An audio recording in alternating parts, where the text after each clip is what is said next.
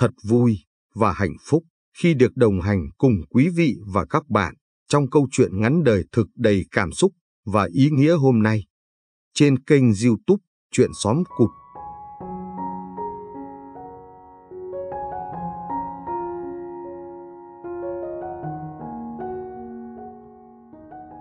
Nắng buổi chiều chiếu xuống Hà Nội. Sau những giờ làm việc mệt mỏi, Miền và mấy người trong xưởng gỗ cuối cùng cũng được nghỉ ngơi.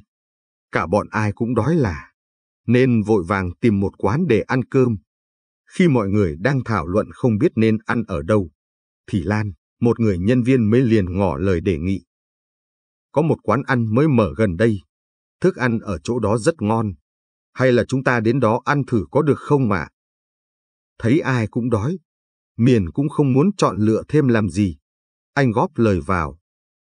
Được chứ? Vậy mình đến đó ăn đi. Thế là cả nhóm cùng đi đến quán ăn mà Lan giới thiệu. Cũng may quán ăn cách xưởng Mỹ Nghệ cũng không xa, nên chỉ hơn 10 phút đi bộ thì mọi người đã đến quán. Vì Lan đã từng ăn ở đây, nên cô nhanh chóng lấy thực đơn ở trên bàn ra để giới thiệu cho mọi người. Lúc này, người phục vụ trong quán mới bước ra để chuẩn bị ghi những món đã được chọn. Cô ấy lễ phép hỏi. Quý khách muốn gọi những món nào ạ? Miền cũng chẳng để ý xung quanh. Anh ngồi yên một góc lắng nghe những người khác lựa chọn. Cho đến khi nghe được giọng nói của người phục vụ, anh mới giật mình ngẩng đầu lên. Cùng lúc đó người phục vụ cũng nhìn sang. Đáy mắt hai người chạm nhau trong tích tắc. Khoảnh khắc ấy anh giật bắn người. Sừng sốt lên tiếng. Liên. Bất ngờ bị anh gọi tên như vậy. Liên không biết phải làm sao. Chỉ cúi đầu nói khẽ. Anh Miền. Trùng hợp quá. Không ngờ lại gặp được anh ở đây. Cả bàn quay lại nhìn Miền. Rồi lại quay sang nhìn người phục vụ. Ánh mắt ai cũng tò mò. Hai người này có quen nhau sao? Miền bây giờ chẳng quan tâm nhiều đến ánh mắt của mọi người. Anh chỉ muốn đứng dậy để đi về phía Liên. Nhưng khi nhìn thấy ánh mắt lúng túng của cô, thì anh đành kìm nén cơn xúc động mà ngồi lại xuống ghế. Đợi đến khi mọi người ăn xong bữa, Miền mới nói. Mọi người về trước đi, một lát nữa tôi sẽ về sau. Ông chủ đã lên tiếng, phận làm công ăn lương làm sao dám cãi. Tất cả nhân viên trên bàn đều đồng loạt nói. Dạ, chúng tôi biết rồi. Mọi người trên bàn ra về hết. Miền liền đi vào trong quán để tìm Liên. Có lẽ cô cũng đoán được anh sẽ tìm mình. Nên sau khi những người kia đi về thì cô liền ra chào hỏi. Liên nói với Miền. Anh Miền, lâu lắm rồi mới gặp lại anh. Khuôn mặt Miền lộ rõ sự vui mừng. Anh cười nói. Cũng đã gần 5 năm rồi. Anh không ngờ sẽ được gặp em ở đây. Ông nội dạo này vẫn khỏe chứ? Nhắc đến ông nội, giọng Liên có phần buồn hơn. Ông mất được 4 năm rồi. Anh đi chưa được bao lâu thì ông mất. Anh tệ quá. Ông mất mà anh cũng không biết. Không về thăm ông được một lần nào. Anh đừng tự trách mình làm gì. Anh cũng vì công việc nên mới không về thăm ông mà. Thế em xuống đây khi nào? Quý còn ở bên cạnh em không? Liên nở một nụ cười gượng gạo. Cô nói. Ông mất được hơn một năm, thì em rời bản thác để xuống đây sinh sống. Hơn nữa, em và anh Quý cũng đã kết hôn với nhau rồi. Tụi em cũng đã có một đứa con hơn ba tuổi. Dù đã sớm đoán được cô sẽ kết hôn với người đàn ông đó, nhưng không hiểu sao khi nghe chính miệng Liên nói ra những lời này, Miền vẫn thấy tim mình đau âm ỉ. Anh cố bình tĩnh để nói với Liên. Hiện giờ em ở chỗ nào? Có gì thuận tiện anh sẽ đến thăm em và quý một chuyến, còn gặp cả con của em nữa. Em không ở gần đây, e là anh không tiện ghé qua thăm em được. Anh còn nhớ đến em là em vui lắm rồi. Có gì em sẽ gửi lời hỏi thăm của anh đến anh quý. Liên đã nói như vậy, Miền cũng không muốn gượng ép cô thêm nữa. À, anh hiểu rồi. Vậy anh về trước nhé. Dạ. Miền vừa rời đi, Liên đã bị bà chủ ở trong quán gọi. Còn Liên đâu? Làm gì mà cứ lề mề ở ngoài đó vậy? Ở trong này không có ai phụ đây. Như bị giật mình sau cơn mộng mị, Liên lấy lại tinh thần rồi chạy vào trong nói.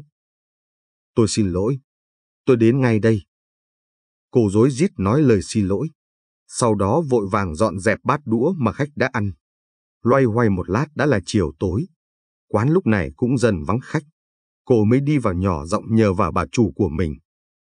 Chị Hạnh, chị có thể cho tôi về sớm hôm nay được không? Con tôi ở nhà bị bệnh không có ai chăm hết. Thế chồng của cô đâu mà không chăm nó? Anh ấy, anh ấy.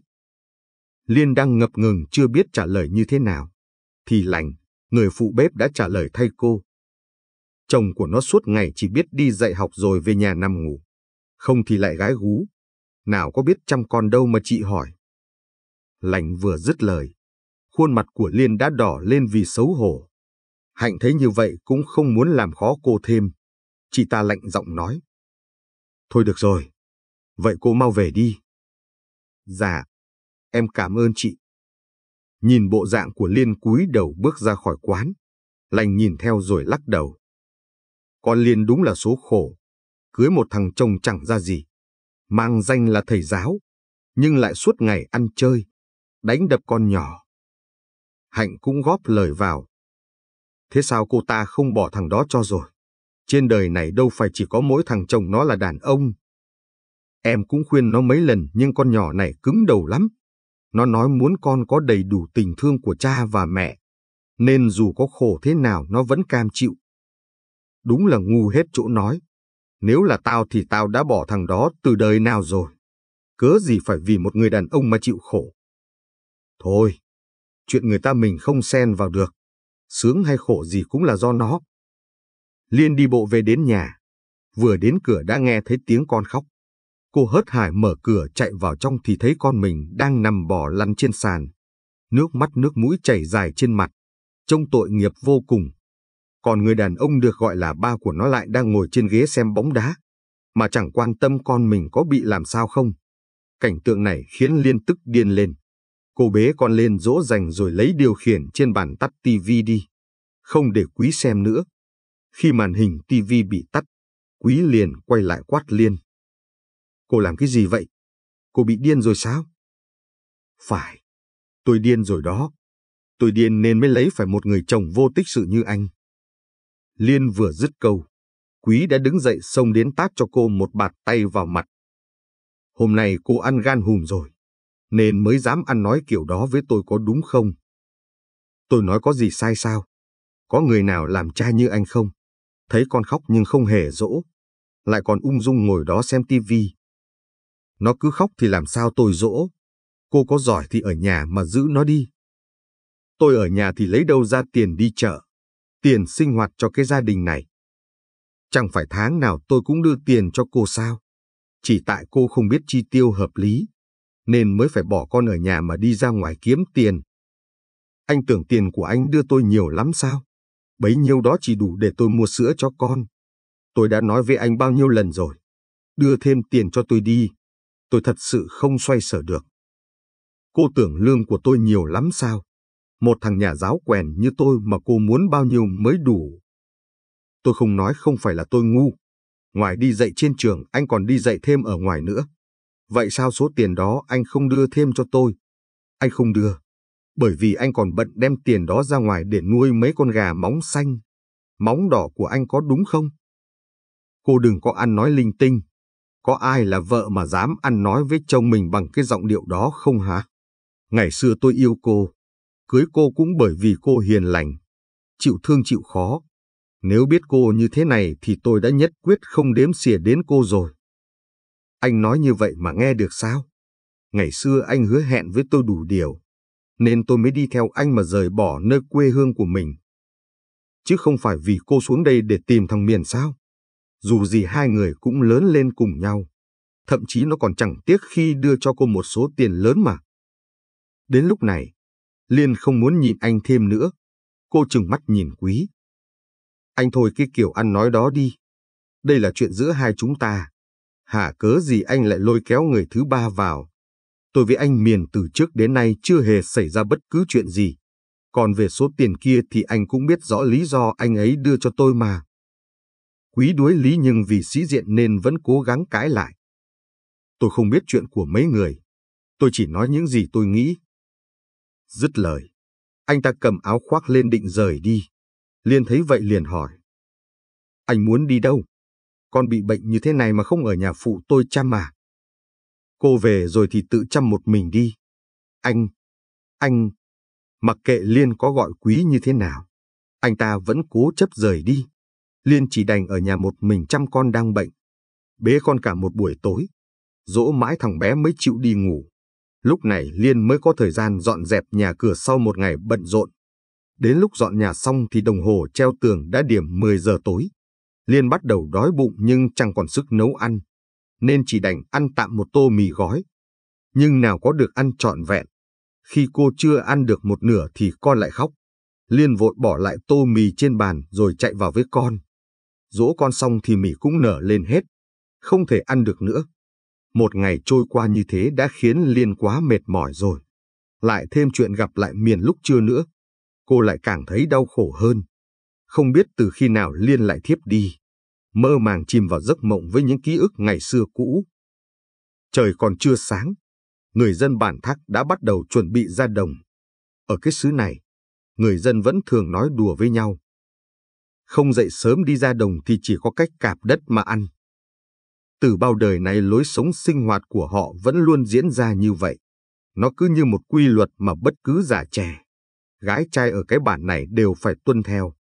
Cũng giống như mọi người ở trong bản. Khi gà còn chưa gáy thì Liên đã thức dậy nấu cơm để cùng cha mẹ ra đồng.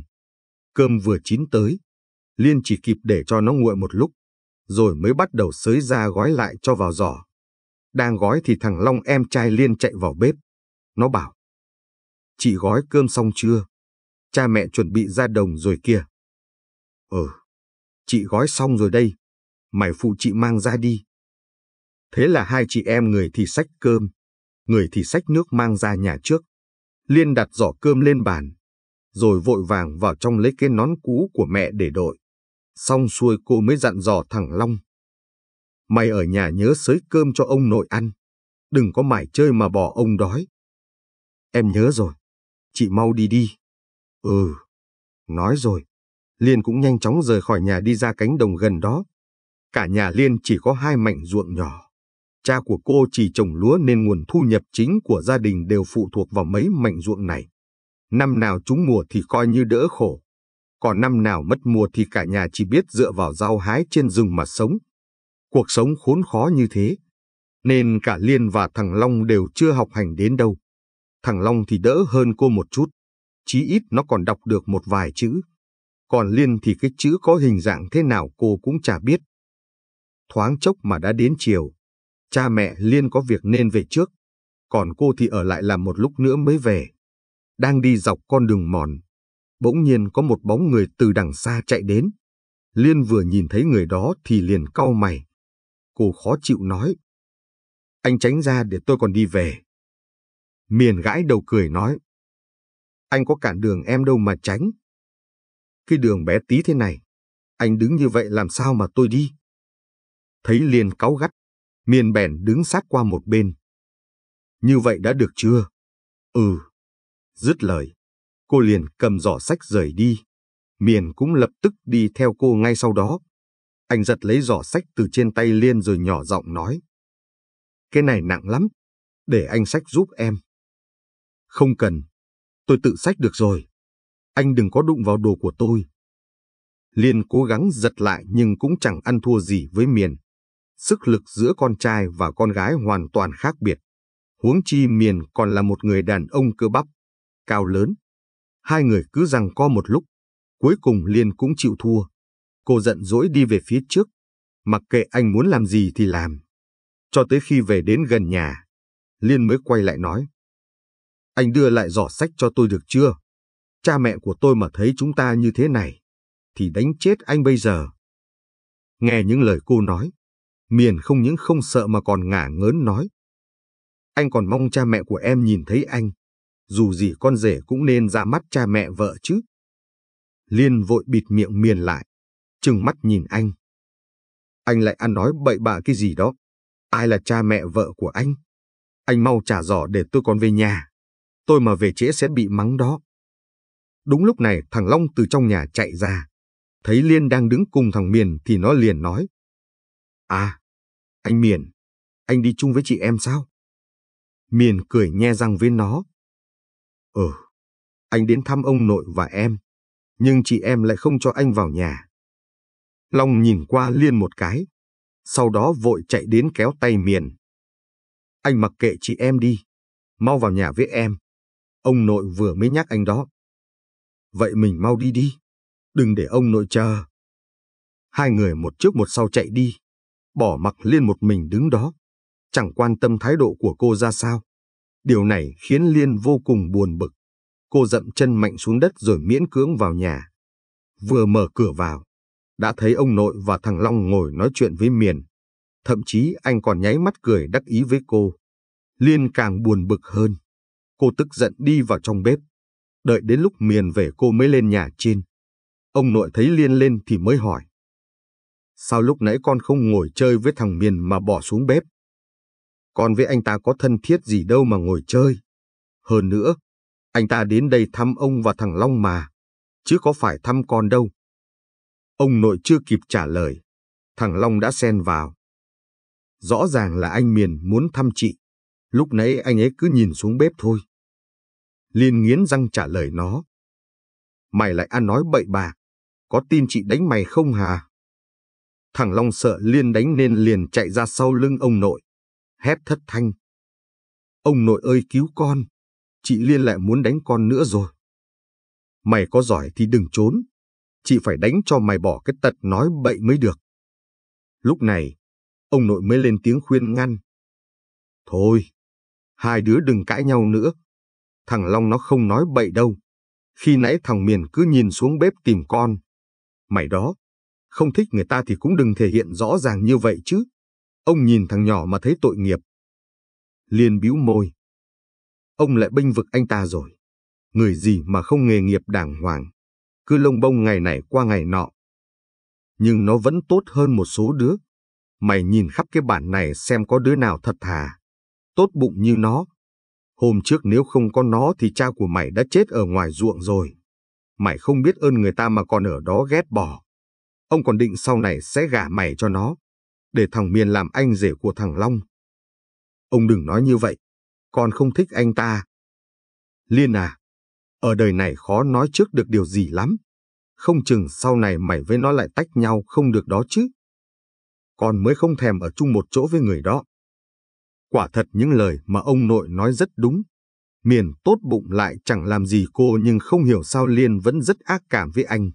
Cứ mỗi lần thấy Miền đi theo mình là cô lại bực bội. Miền lớn hơn Liên 4 tuổi. Ở độ tuổi của anh thì các chàng trai trong bản đã sớm lấy vợ sinh con mất rồi. Ruộng ở nhà thì cũng vài ba mảnh. Chỉ có mỗi anh suốt ngày đi lang thang khắp bản. Ai thuê gì thì làm nấy. Chẳng có nổi một cục đất để trọi chim. Ông nội hay bảo với Liên. Chỉ tại thằng Miền nó nghèo. Nếu không thì mấy nhà trong bản này đã không chờ kịp để gả con gái cho nó. Những lúc nghe ông nói như vậy, Liên liền cãi lại. Thế sao ông còn bắt con đi lấy anh ta? Ông không sợ con lấy chồng nghèo à? Nghèo thì có gì đâu mà sợ. Ông chỉ sợ nó không thương mày thôi. Mày thấy con chiến không? Nó cũng lấy chồng giàu đó. Để bây giờ ngày nào nó cũng bị thằng chồng đánh đập. Có sung sướng hưởng phước được đâu. Đó là do chị ấy không may mắn thôi. Ông đâu thể vơ đúa cả nắm được.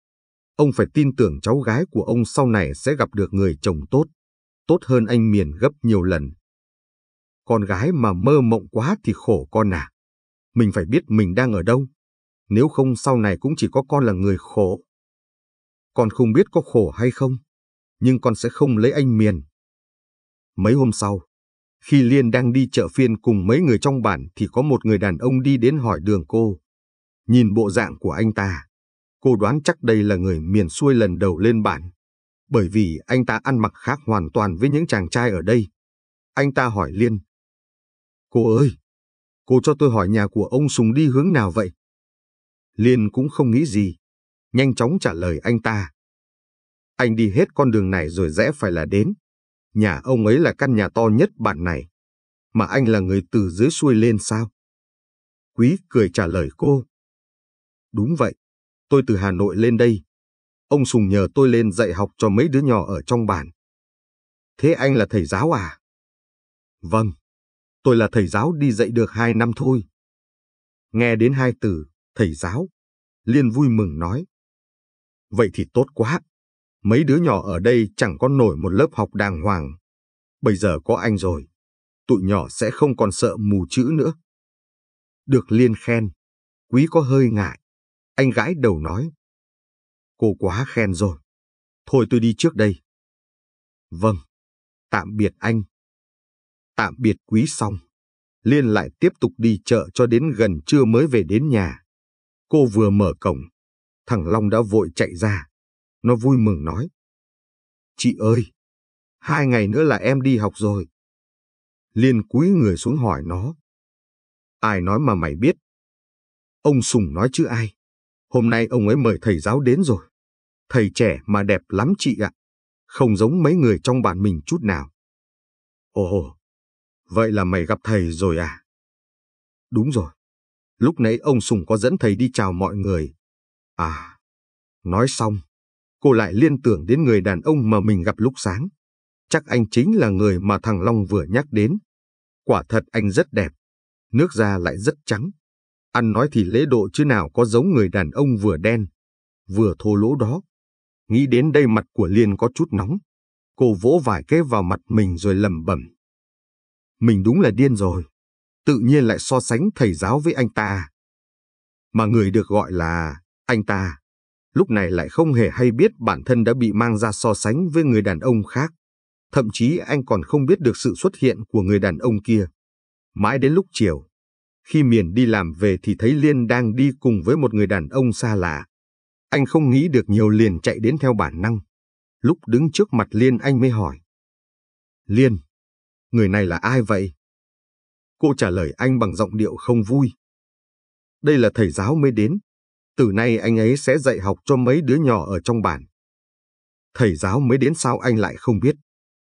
Thì hôm nay người ta mới đến. Cả ngày nay anh ở ngoài đồng thì làm sao mà biết được. Lúc này, Quý cũng chen lời vào. Anh chìa tay ra trước mặt Miền. Tôi là Quý, rất vui được gặp anh. Miền khó chịu trả lời. Khỏi, tôi không có vui. Liên cau mày nhắc nhở Miền. Anh lịch sự một chút được không? Người ta đã mở lời rồi mà cũng không nói chuyện được một câu tử tế. Ai thèm tử tế với anh ta? Anh không thích thì nói không thích. Mà sao em lại đi chung với anh ta? Hai người có quan hệ gì à? Bị miền hỏi như vậy, Liên đỏ mặt nói. Chúng tôi thì có quan hệ gì? Anh đừng nói lung tung.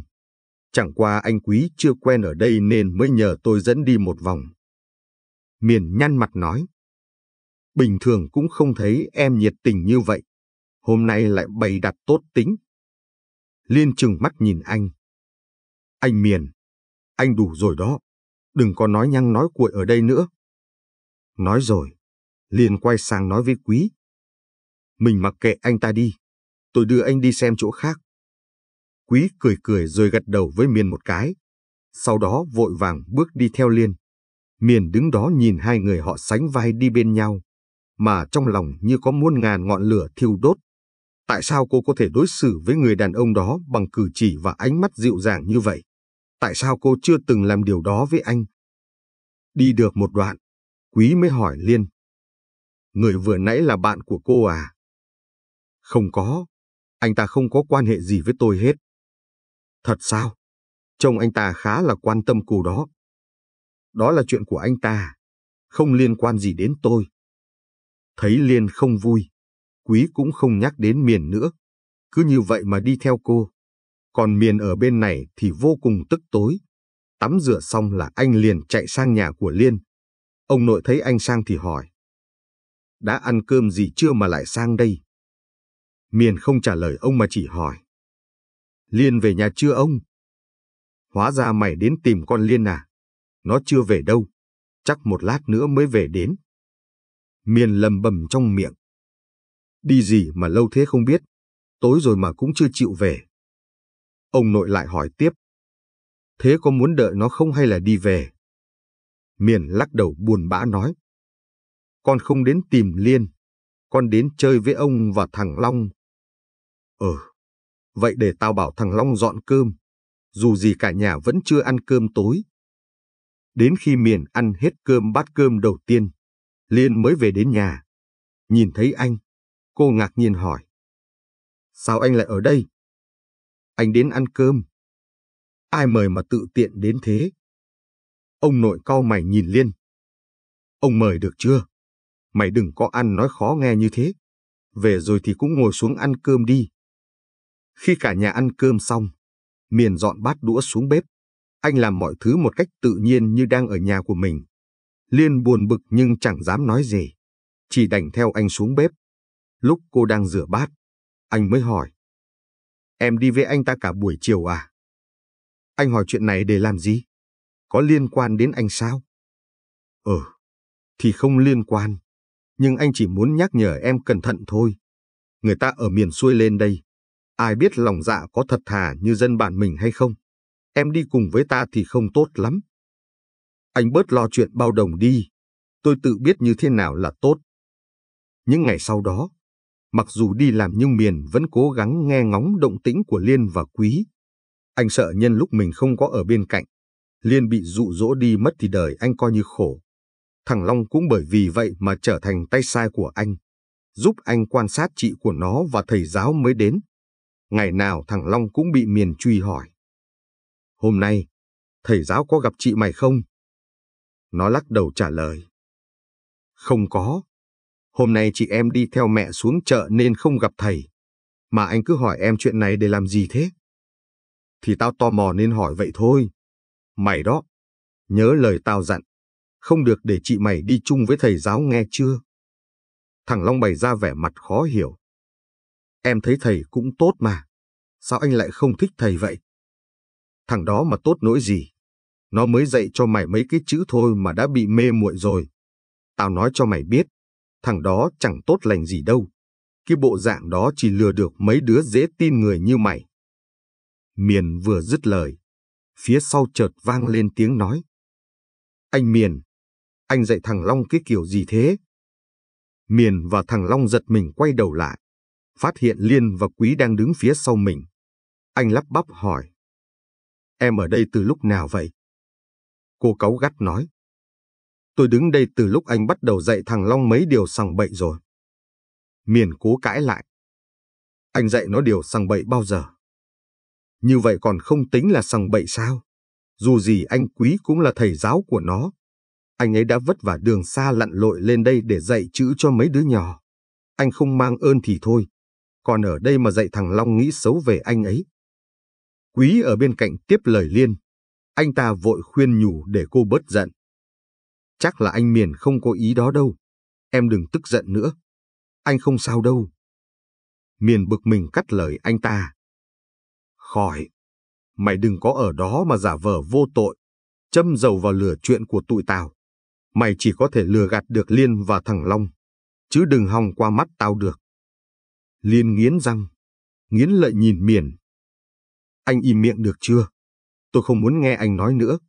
Anh mau ra khỏi nhà tôi đi. Miền sừng sốt hỏi Liên. Em đuổi anh. Em vì thằng đó mà đuổi anh sao Liên? Tôi không vì ai cả. Chỉ là tôi không muốn nhìn thấy anh thôi. Anh đi về đi. Bị chạm đến lòng tự trọng. Miền bực bội bước đi nhưng trước khi ra khỏi cửa, anh đã chỉ thẳng vào mặt quý. Mày cứ đợi đó. Tao nhất định không để mày yên đâu. Đợi Miền đi rồi. Liên mới quay sang nói với Quý. Bình thường anh Miền không như vậy đâu. Không hiểu sao mấy hôm nay anh ấy lại cư xử kỳ quặc như vậy. Anh đừng giận anh ấy. Quý cười nói. Chắc anh Miền có hiểu lầm gì đó với anh thôi. Em đừng để ý quá. Nghe Quý nói như vậy, trong lòng Liên lại càng quý mến anh hơn. Trong mắt cô bây giờ anh không chỉ vừa đẹp trai, vừa giỏi giang mà lại có tấm lòng bao dung rộng lớn. Sau khi quý tạm biệt Liên, anh cũng trở về nhà của ông Sùng để chuẩn bị giáo án mà ngày mai giảng dạy cho mấy đứa nhỏ. Ông Sùng thấy anh về thì cũng quan tâm hỏi han. Cháu ở đây đã thấy quen chưa? Dạ, nhờ có Liên, nên cháu cũng đã làm quen được với mọi người ở đây rồi ông ạ. Ờ, con Liên nó là người tốt tính, cháu đi với nó thì ông cũng yên tâm hơn. Dạ, cũng may cháu được làm quen với cô ấy, nếu không thì không biết phải làm như thế nào. Nhìn vẻ mặt của quý, ông Sùng cười trêu chọc. Cháu có vẻ thích con Liên quá nhỉ? hay là có ý với người ta rồi? Quý ngại ngùng trả lời ông. Cháu để ý người ta rồi, còn ý người ta như thế nào thì cháu không biết. Có gì đâu mà khó, mày để ý rồi thì cứ nói với ông, để ông sang nói chuyện với ông nội của nó. Con nhỏ vừa đẹp người, đẹp nết lại còn giỏi giang. Hai đứa mà đi với nhau thì xứng đôi phải biết. Quý cười gật đầu. Dạ, vậy chăm sự cháu chỉ biết nhờ ông ạ. Ông Sùng sang nhà nói chuyện với ông nội của Liên được hay không còn chưa biết. Chỉ biết là cách vài ngày sau đó Quý đã bị miền chặn lại trên đường. Hôm đó, khi Quý đang đi đến nhà của Liên thì đã bị miền chặn lại hỏi chuyện. Mày tính đi đâu đó? Quý trả lời miền bằng giọng điệu khó chịu. Tôi đi đâu thì có liên quan gì đến anh? Mày định đến nhà của Liên có đúng không? Mày không xem mấy lời nói hôm trước của tao ra gì à? Anh nói thì tôi phải nghe sao? Tôi đến nhà của Liên thì cũng là chuyện của tôi. Anh cấm được tôi à? Quý vừa dứt câu, đã bị một cú đấm như trời giáng đập vào mặt. Miền tức giận nắm lấy cổ áo của anh. Tao nói cho mày biết, Liên là của tao. Không đến lượt một thằng ất ơ như mày động vào cô ấy. Bị đánh đau như vậy, nhưng quý không hề sợ hãi mà còn chừng mắt nhìn miền. Mày lấy tư cách gì để nói Liên là của mày? Tao nhớ mày và cô ấy cũng chẳng có quan hệ gì mà. Nhưng ông nội đã hứa sẽ gả Liên cho tao. Sớm muộn gì tao cũng sẽ là chồng của cô ấy. Quý nở một nụ cười chế giễu. Anh ta bắt đầu nói những lời châm chọc miền. Vậy thì tao cũng nói cho mày biết. Tao nhất định sẽ không để mày được tọa nguyện. Tao sẽ nhờ ông Sùng sang nhà nói chuyện với ông nội của Liên. Để ông nội đồng ý cho Liên đến với tao. Giữa một người được ăn học đàng hoàng với một thằng rốt nát. Suốt ngày đi làm thuê. Làm mướn như mày để xem ông nội của Liên sẽ chọn ai. Miền tức điên lên. Anh không tự chủ lại muốn cho Quý thêm một cú đấm. Nhưng khi anh chưa kịp đánh thì Quý đã giơ tay chặn lại. Anh ta nghiến răng nói. Đừng tưởng tao sẽ nhịn mày. Tao nói cho mày biết. Tao nhất định phải có được Liên. Tao phải cho mày nếm mùi thất bại. Miền dở giọng hăm dọa. Vậy thì ông đây sẽ chống mắt lên xem mày sẽ làm được gì. Nói rồi, Miền tức giận bỏ đi, bỏ lại Quý một mình ở đó với khuôn mặt đau đớn. Quý chậm chậm bước về hướng nhà của Liên. Đúng như dự đoán, khi cô vừa nhìn thấy khuôn mặt của anh thì giật mình sừng sốt. Mặt của anh làm sao vậy? Là ai đánh anh? Quý lắc đầu giả vờ tội nghiệp nói. Không có ai đánh anh cả, anh chỉ bị té thôi. Liên sờ tay lên vết thương trên mặt của Quý, lo lắng nói. Anh đừng nói dối nữa, có ai bị té mà thành ra thế này không? Là anh Miền đánh anh có đúng không? Em phải tìm anh ấy nói chuyện cho rõ ràng mới được. Anh Miền chỉ vô ý thôi. Anh ấy không cố tình đánh anh đâu. Em từng tìm anh ấy. Anh lúc nào cũng nhường nhịn anh Miền hết. Người ta đã đánh anh thành ra bộ dạng này rồi. Mà còn bênh vực cho được. Người gì mà hiền thế không biết. Quý tỏ vẻ ấp úng. Anh, anh, thấy quý như vậy. Liên lại càng thấy thương anh hơn. Cô bất đắc dĩ nói. Thôi anh mau vào trong sân đi. Em lấy thuốc thoa cho. Quý đi theo Liên vào trong sân ngồi. Chưa được bao lâu thì Liên đã đem thuốc ra. Cô ngồi xuống trước mặt anh, đem thuốc ra rồi nhẹ nhàng xoa trên mặt của Quý. Khoảng cách của hai người quá gần. Thậm chí anh còn nghe thấy tiếng tim đập của cô. Anh bất giác đưa tay nắm lấy tay người con gái trước mặt, khiến sống lưng Liên cứng đờ. Ngập ngừng hỏi anh. Em, em làm anh đau sao? Không, không có. Ngay khi câu nói của Quý vừa kết thúc, hai người lại rơi vào trạng thái ngại ngùng. Liên ngẩn ngơ nhìn anh, nhịp tim đập nhanh không thể tả, cả tai và mặt đều đỏ lên. Rồi bất chợt trong sự ngại ngùng ấy, khuôn mặt của chàng trai sát lại gần, nhẹ nhàng đặt vào môi cô một nụ hôn nóng bỏng. Nụ hôn nhẹ như chuồn chuồn lướt nước, cứ thế trôi qua nhanh, nhanh đến nỗi liền cứ ngỡ nó như một cái chớp mắt. Cô thẹn thùng hỏi Quý. Sao anh lại hôn em? Quý cười nói. Anh thương em, em có thương anh không? Câu nói của anh khiến lòng Liên chấn động. Đây không phải là lần đầu tiên cô được một người đàn ông tỏ tình, nhưng đây lại lần duy nhất cô thấy bản thân mình rung động. Liên biết mình đã thương người đàn ông này mất rồi. Dù chỉ mới quen biết nhau không lâu nhưng thứ tình cảm anh mang đến cho cô hoàn toàn mới lạ. Không giống như những gì cô được trải nghiệm trước đây. Anh trưởng thành, chín chắn, bao dung rộng lượng với mọi người. Anh không ngại gian khó, gian nan đi từ miền xuôi lên tận bản làng xa xôi của cô, đem đến con chữ mà mấy đứa trẻ ở đây mơ ước. Dù bị miền làm khó dễ nhiều lần nhưng anh cũng chưa bao giờ nói với cô. Anh cứ như vậy mà âm thầm chịu đựng. Một người đàn ông tốt như vậy, cô không yêu, không thương làm sao được. Thấy Liên cứ im lặng, Quý lại bắt đầu sốt ruột hỏi cô. Em không thương anh sao? Liên vội lắc đầu, nắm chặt tay anh. Không có, em thương anh. Hai bàn tay đan chặt, Quý nở một nụ cười thật tươi rồi tiến đến hôn môi cô lần nữa. Anh trăng trên trời tròn vành vạnh, như trứng giám cho đôi trẻ ở bên nhau. Tình yêu lại bắt đầu sinh sôi nảy nở. Hai người cứ ở đó hạnh phúc. Nhưng ở phía bên kia bờ rào đã có một người đàn ông nắm chặt tay. Chặt đến nỗi lòng bàn tay đã đỏ lên nhưng miền cũng không hề hay biết. Nhìn hai người hôn nhau trước mặt, anh tức giận đến nghiến răng. Cõi lòng chua xót không thể tả người con gái mà anh yêu suốt bao nhiêu năm qua, hôm nay lại nói tiếng yêu thương cùng một người đàn ông khác. Hai bọn họ hạnh phúc. Vậy còn anh phải làm sao? Ai sẽ trả cho anh hạnh phúc? Thoáng chốc mà đã ba tháng trôi qua. Lúa ngoài ruộng đã đến mùa thu hoạch. Đêm trước ngày gặt lúa, cha mẹ liên ngồi nói chuyện với ông nội trên bàn trà. Lúa năm này tốt lắm, chắc là mùa này mình khấm khá rồi. Ông nội uống một ngụm nước trà rồi bảo. Tốt là được rồi, chứ mấy năm nay mùa nào cũng thất bát. Mà ở bên này, Quý cùng với Liên đang ngồi ở ngoài vườn nhà ông Sùng nơi hai người vẫn hay lui tới hẹn hò. Nghe cô kể ngày mai nhà mình vào mùa gặt, Quý bèn đề nghị được đi theo. Hay ngày mai em cho anh ra đồng, để phụ cha mẹ em gặt lúa nhé. Không được, anh đi thì ai dạy học cho mấy đứa nhỏ ngày mai anh cho bọn nhỏ nghỉ rồi, nên mới muốn đi theo em. Vậy cũng được, mai anh sang nhà em sớm nhé. Hẹn là hẹn như vậy, nhưng nào ngờ đêm đó cả nhà đang ngủ thì mưa lớn chợt kéo đến, rồng lốc cũng kéo theo. Cả nhà đêm đó như ngồi trên đống lửa, cha liền cứ đi tới đi lui trong nhà, nhỏ giọng than thở.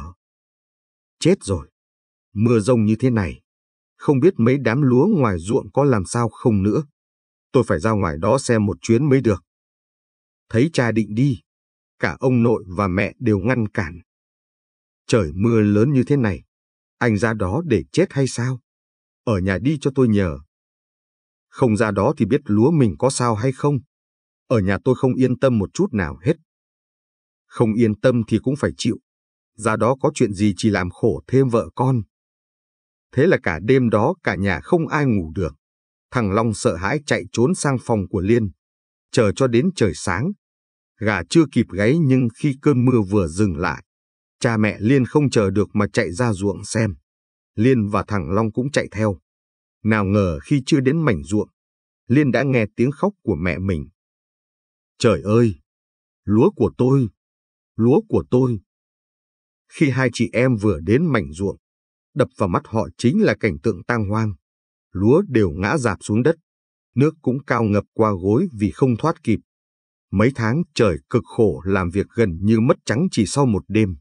Mẹ của Liên đau xót khóc không biết bao nhiêu là nước mắt, còn cha thì cứ đứng sững sờ ở đó không nói câu nào. Một lát sau, mấy người trong bản cũng chạy ra. Ai nấy đều mang vẻ mặt vô cùng đau khổ. Chuyện xảy ra thì cũng xảy ra rồi. Bây giờ chỉ còn cách cố gắng gặt được chỗ nào hay chỗ đó. Khi cả nhà của Liên đang gặt lúa thì Miền chạy tới. Anh vội vàng nhảy vào mảnh ruộng phụ giúp gia đình Liên một tay. Quý cũng chạy đến. Nhưng anh ta không biết gặt lúa, vì chưa từng làm công việc này bao giờ. Quý hổ thẹn, đành phải phụ Liên góp mấy bó lúa vừa gặt xong để vào chỗ khô ráo. Đến chiều tối, cuối cùng cũng thu gom được một ít lúa còn sót lại. Chúng ít đến nỗi chưa đến một nửa như dự kiến ban đầu. Ông nội nghe tin cũng buồn nhưng không nói gì. Chỉ im lặng ngồi trên bàn trà cũ nhìn ra phía ngoài xa. Bầu không khí của cả nhà những ngày sau đó vô cùng ngột ngạt. Đến nỗi liền ngỡ như không thể thở được trong chính căn nhà của mình. Quý cũng an ủi cô. Anh ta nói. Anh xin lỗi. Anh chẳng giúp ích được gì cho em. Ngay cả hôm đó gặt lúa mà anh còn không phụ được. Sợ quý ấy náy trong lòng. Liên cũng khuyên nhủ bạn trai mình. Không sao đâu anh. Chuyện đó cũng không phải là lỗi của anh mà. Quý lại lầm bẩm. Phải chi anh được như miền thì hay biết mấy. Đang có tâm sự trong lòng. Giờ phút này lại nghe được giọng điệu tự trách mình của quý. Liên lại đau đầu hơn. Anh đừng có nghĩ lung tung nữa. Anh miền có tốt như thế nào thì em cũng không yêu anh ấy. Em chỉ yêu có anh thôi. Bầu không khí ngột ngạt trong gia đình Liên. Cứ như vậy cho đến mấy ngày sau. Khi cô đang ăn cơm thì nghe cha mẹ nói. Tao với mẹ của mày định xuống Hà Nội một chuyến. Nghe bác của mày bảo người ta đang thuê người làm ở dưới đó. Tao sẽ đưa thằng Long theo. Còn mày thì ở lại chăm sóc ông nội với lo cho mảnh ruộng. Chứ cứ bám giết cái đất này không phải là cách. Năm nào cũng mất mùa. Đói trắng mắt ra. Động tác ăn cơm của Liên dừng lại. Cô ngẩng đầu lên nói với cha mình. Cha để con đi chung được không? Con có thể phụ cha mẹ đi làm dưới đó. Mày đi thì lấy ai lo cho ông nội? Ông ấy già rồi không có người chăm thì làm sao yên tâm được. Nghe lời tao thì ở yên đây mà chăm sóc ông cho tử tế. Đến vụ mùa thì cứ trồng rau trái gì đó cho xong. Dù không muốn, nhưng Liên chỉ đành gật đầu. Dạ, con biết rồi. Nói là làm. Cha mẹ của Liên nhanh chóng thu dọn đồ đạc để chuẩn bị xuống Hà Nội. Thằng Long nhớ chị nên cứ khóc mãi. Em không muốn đi đâu. Chị cho em ở lại với chị và ông được không? Liên dỗ dành xoa đầu nó. Đừng khóc. Mày đi theo cha mẹ xuống đó, thì sẽ được vào trường học đàng hoàng. Ở đây tuy có thầy quý dạy học, nhưng chắc chắn sẽ không bằng việc được học tại một trường tử tế. Em không muốn, em không muốn xa chị. Em sẽ nhớ chị lắm. Có gì mà nhớ, rồi cha mẹ sẽ đưa mày về thăm nhà chứ có đi luôn đâu. Nói không nhớ thì chính là nói dối. Hai chị em từ nhỏ lớn lên cùng nhau, bây giờ lại phải chia cắt. Thử hỏi có ai mà chịu được. Liên nhớ em nhưng chẳng dám thể hiện ra mặt. Cô sợ thằng Long thấy mình khóc thì sẽ không chịu đi. Những lúc như vậy, cô chỉ biết tìm quý để anh an ủi mình, để có thể vơi bớt nỗi khó chịu trong lòng. Trùng hợp là mỗi lần cô hẹn hò với quý, không biết vô tình hay cố ý miền đều chứng kiến tất cả. Anh đứng từ xa nhìn Liên đang yên bình dựa vai quý. Hai người không biết đã nói gì. Chỉ thấy quý cười xoa đầu cô. Miền ghen tị với quý đến đỏ mắt. Thầm oán ông trời tại sao người bên cạnh Liên không phải là bản thân mình. Dù cho Liên có khóc thì cha mẹ và thằng Long cũng phải đi. Sáng sớm ngày hôm sau, cha mẹ cô đưa thằng Long ra bến xe để đón chuyến sớm xuất xuống Hà Nội. Liên và ông nội muốn tiễn họ đi nhưng cha lại bảo. Tiễn làm gì cho mệt, khi nào xuống tới dưới đó thì tao gọi điện về. Trước khi đi, thằng Long còn chạy lại ôm Liên, vừa ôm nó vừa khóc. Em sẽ nhớ chị lắm. Sợ trễ giờ lên xe, cha của Liên chỉ đành chia cắt hai chị em đang lưu luyến. Hai đứa đừng có lề mề nữa, xe chạy bây giờ. Liên nén nước mắt, cúi đầu nói chuyện với em. Đi đi, để cha mắng bây giờ. Thằng Long nghẹn ngào nói. Dạ. Bóng hai người lớn dắt theo một đứa nhỏ dần khuất khỏi bản. Liên và ông nội cứ đứng nhìn thêm một lúc mới bước vào nhà. Cho đến ngày hôm sau, khi Liên đang quét nhà ngoài sân thì anh tính hàng xóm chạy vào. Anh ấy hớt hãi nói với cô. Chết rồi Liên ơi! Liên bỏ trổi đất, gấp gáp hỏi lại anh. Ai chết? Anh bình tĩnh nói em nghe xem. Cha mẹ em với thằng Long bị tai nạn xe chết rồi. Như bị thứ gì đó giáng xuống đầu. Liên đứng không còn vững nữa. Cô quỵ cả người xuống nền đất. Sợ hãi hỏi tính. Sao cha mẹ em và thằng Long lại chết được? Anh đừng gạt em nữa. Em không thích đùa như vậy đâu. Anh không gạt em. Lúc sáng anh vừa dưới bến xe về. Người ta bảo chuyến xe của cha mẹ em và thằng Long bị lật. Trên xe không còn ai sống sót cả. Bây giờ em và ông nội mau xuống bệnh viện nhận xác của họ đem về mai táng đi. Tính vừa dứt lời. Sắc mặt của Liên đã trắng bệch. Cô hét lên như một kẻ điên. Không thể. Không thể như vậy được. họ không thể chết. Ông nội sau khi biết chuyện cũng chẳng khá khẩm hơn Liên. Lúc ông nhìn thấy khuôn mặt của con trai và con dâu, cùng với đứa cháu nội ở trong nhà xác lạnh lẽo của bệnh viện, thì đã không chịu nổi mà lên cơn đau tim rồi ngất xỉu. Liên phải vừa chăm ông ở bệnh viện, vừa tìm cách xoay sở tiền để có thể đưa người thân của mình về bản làng chôn cất. Chỉ chưa đầy hai ngày nhưng đã có quá nhiều chuyện xảy ra. Đôi vai gầy của Liên giờ đây sắp không thể chống chịu được nữa. Quý và Miền biết chuyện cũng chạy xuống bệnh viện cùng cô. Liên cứ ngồi gục trong lòng Quý mà khóc. Anh Quý, anh nói em phải làm sao bây giờ đây? Tại sao tất cả mọi chuyện lại diễn ra như thế này? Rõ ràng là hôm trước thằng Long còn nói chuyện với em. Cha mẹ còn ngồi ăn cơm cùng với em mà. Cha mẹ còn nói Tết đến sẽ về thăm em và ông nội. Họ còn hứa mua cho em nhiều quần áo đẹp nữa. Quý xoa bả vai Liên, nhỏ giọng an ủi. Anh biết là em đang rất đau lòng. Nhưng bây giờ ông nội chỉ còn mỗi một mình em. Em phải mạnh mẽ lên để con làm chỗ dựa tinh thần cho ông nữa. Anh nói em phải mạnh mẽ như thế nào đây? Em không biết phải làm sao để mạnh mẽ nữa. Em đau quá. Miền đứng bên cạnh nhìn Liên khóc. Trong lòng anh khó chịu vô cùng. Chỉ muốn ôm cô vào lòng để dỗ dành an ủi. Anh muốn nói cho cô biết. Cô không cần mạnh mẽ làm gì. Chỉ cần cô nép vào lòng anh là đủ. Còn mạnh mẽ gì đó anh sẽ làm thay cô. Nhưng anh làm gì có tư cách để làm điều đó. Cô không muốn dựa dẫm vào anh. Ngay cả than thở với anh một câu mà cô cũng không muốn. Đứng thất thần hồi lâu, Miền mới lên tiếng hỏi. Liên, chuyện tiền bạc để đưa hai bác và thằng Long về nhà, em tính như thế nào?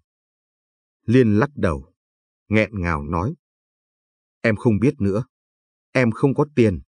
Em không có nhiều tiền như vậy. Quý ngại ngùng nhìn Liên. Anh xin lỗi, nhưng anh cũng không có nhiều tiền để giúp em. Em cũng biết nghề giáo viên của anh lương ba cọc ba đồng mà, nên dù rất muốn anh cũng không biết phải làm gì nữa. Anh định là sẽ đi mượn tiền của vài người bạn, chắc là cũng sẽ giúp em được một chút. Em đừng giận anh nha Liên. Cô lau nước mắt, cúi đầu nói với anh. Em không trách anh, đây cũng không phải là lỗi của anh mà. Em sẽ cố gắng tìm cách khác. Những lời mà hai người vừa nói, Miền nghe không sót một câu nào. Anh mở ba lô ở trên lưng ra, lấy một sấp tiền rồi tiến tới trước mặt Liên rồi nói. Ở chỗ anh có chút tiền dành dụm, anh nghĩ là đủ để em có thể đưa hai bác và thằng Long về. Liên ngại ngùng từ chối anh. Số tiền lớn như vậy chắc là anh đã dành dụm rất lâu. Làm sao em nỡ lòng lấy được? Không có gì là không nỡ cả. Từ đó đến bây giờ anh luôn xem hai bác và thằng Long là người thân ruột thịt trong nhà. Bây giờ mọi người gặp nạn như vậy, anh góp chút công sức cũng là hợp tình hợp lý. Em đừng có chần chừ nữa. Việc trước mắt là phải đưa hai bác và thằng Long về. Để họ ở đây cũng không phải là cách. Thấy Liên vẫn còn chần chừ, Miền vội nhét sấp tiền vào trong tay cô, không cho phép cô từ chối mình thêm nữa. Quý thấy Liên khó xử. Anh ta đành thay mặt Liên cầm tiền, còn nhỏ giọng nói cảm ơn. Cảm ơn anh đã giúp đỡ. Tôi và Liên nhất định sẽ trả lại đầy đủ cho anh. Chuyện này cứ tính sau đi, tạm thời đừng nhắc nữa. Tiền miền đưa cho Liên vốn là tiền anh dành dụm để dành cưới vợ. Nay người anh yêu đã ở bên cạnh người khác rồi thì anh còn cần số tiền đó để làm gì nữa. Có được tiền của miền, Liên nhanh chóng đưa thi thể những người thân của mình về nhà chôn cất. Ông nội vẫn còn yếu nhưng vẫn nhất quyết muốn về nhà. Ngày đám tang của cha mẹ và em trai, Liên cứ ngồi bên cạnh quan tài của họ mà không chịu đi đâu cả. Cơm cũng chẳng thèm ăn. Quý cũng vài lần khuyên bảo cô. Em ăn một chút cháo lót dạ nhé. Từ hôm qua đến bây giờ em đã không ăn gì rồi. Cô lắc đầu, yếu ớt nói. Em không đói, em chỉ muốn ở đây với cha mẹ và thằng Long thôi. Có lẽ đứng trước nỗi đau, con người ta thường cố chấp hơn để hy vọng níu giữ được một điều gì đó. Khoảnh khắc những người trong bản mang quan tài của người thân mình đi chôn, Liên đã không chịu nổi nữa. Cô chạy theo họ khóc nức nở. Đừng mang cha mẹ và em tôi đi đâu cả. Họ phải ở lại với tôi.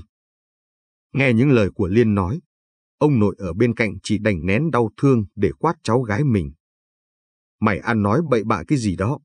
Người chết rồi thì phải đi chôn, ở lại với mày làm gì? Dứt lời, ông quay sang nói với những người đang khiêng quan tài.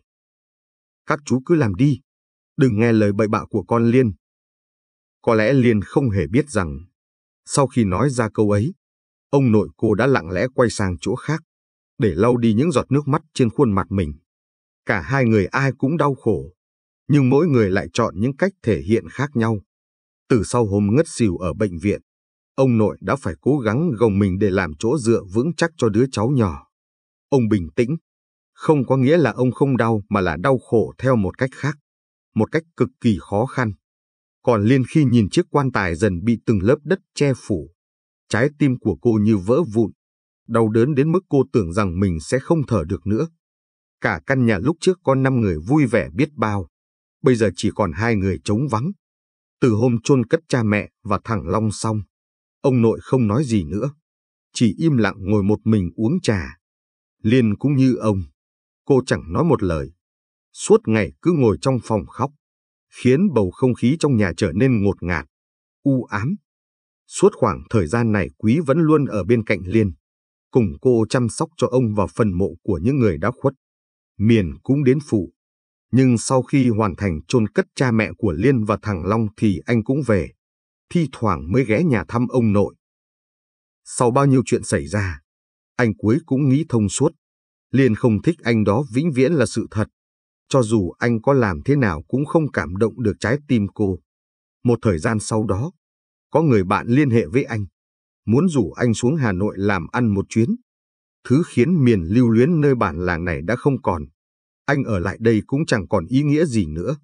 Thế là anh quyết định đi cùng người kia. Trước ngày đi, Miền có đến tìm gặp Liên lần cuối. Đúng lúc cô vừa bước ra từ gian phòng của ông nội thì gặp được anh. Thấy anh, Liên tò mò hỏi. Anh tìm ông nội sao? Ông vừa mới đi ngủ rồi. Miền ngập ngừng nói. Anh không đến tìm ông nội, anh đến tìm em. Anh tìm em để làm gì? Ngày mai anh lên đường xuống Hà Nội làm việc rồi. Có lẽ rất lâu nữa mới trở về đây.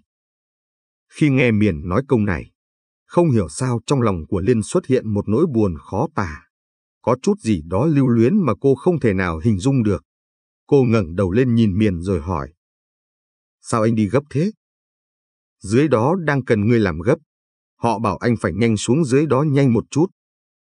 Như chợt nhớ ra điều gì đó, liền ngại ngùng hỏi anh. Số tiền anh đưa em mượn lần trước em vẫn chưa trả được. Bây giờ anh đi như thế này, em không biết làm sao mới đúng. Miền trả lời cô bằng giọng điệu không vui. Anh đã bắt em trả lại đâu. Khi nào có tiền em trả lại anh cũng không muộn. Nhưng em, em... Nếu em thấy ngại thì có thể giúp anh thực hiện một nguyện vọng được không? Từ trước đến nay, Miền chưa bao giờ xin cô giúp anh điều gì. Hôm nay anh lại lần đầu ngỏ ý. Cô đương nhiên muốn đáp ứng nguyện vọng của anh. Liên nhẹ giọng hỏi. Anh muốn em giúp gì? Anh muốn, muốn ôm em một cái được không?